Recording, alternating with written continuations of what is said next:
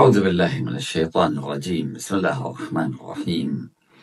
الحمد لله رب العالمين والصلاة والسلام على خير خلقه أجمعين. محمد وعلى أهل بيته الطيبين الطاهرين. سلام عليكم. هل يمكن أن تسمع بعينك؟ قطعا لا. هل يمكن أن ترى بأذنك؟ أيضا لا. هل يمكن أن تحس بالجاذبية بأعضاء بدنك؟ لا. هل يمكن أن ترى آه، الأشخاص أن ترى العقول أن ترى الأرواح؟ أيضا لا. لماذا؟ لأننا محدودون. عيوننا للإبصار للرؤية لا للاستماع. آذاننا للسماع لا للرؤية.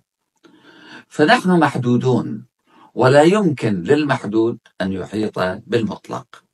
نحن نقول أن الله مطلق. ولا بد أن يكون مطلقا لأنه خلق كل هذا الكون في لحظة إرادة.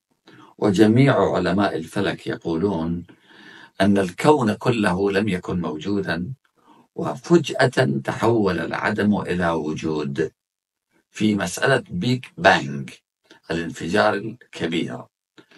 السؤال من حول العدم إلى وجود؟ نؤمن أن الله الذي علمه مطلق وقدرته مطلقة. خلق هذا الكون في لحظة إرادة. لكنك تقول لماذا لا نراه؟ لو أن الله عز وجل أرانا نفسه ولو مرة واحدة. لا يستطيع أحد أن ينكر وجوده. أقول تريد الله أن تراه في ماذا؟ تراه مثلا وقد لبس بدلة أو لبس الغطرة والعقال أو لبس العمامة هذا هو ربك مثلا. الشيء المحدود يمكنك أن تراه أما غير المحدود فلا يمكن لك أن تراه. الله غير محدود. لأن رؤية الشيء هو أن يكون هنالك فراغ في اليمين وفي الشمال وفوق وتحت حتى ترى شكله.